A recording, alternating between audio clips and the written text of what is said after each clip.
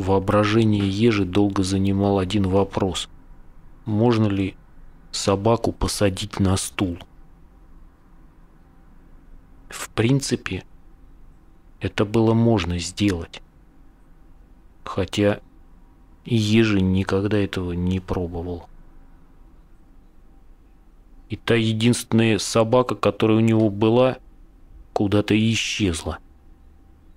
Поэтому на стул было некого сажать, и ежи сам сел на стул вместо собаки. У него это хорошо получалось, гораздо лучше и проще.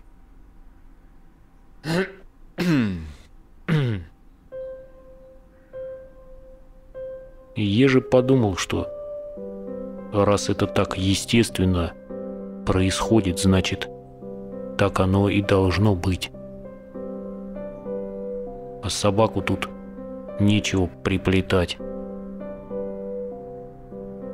Он пошел и рассказал об этом Петруччо. Но Петруччо ничего не понял из рассказа Ежи. Понял только, что Ежи совершеннейший дебил, как он выразился.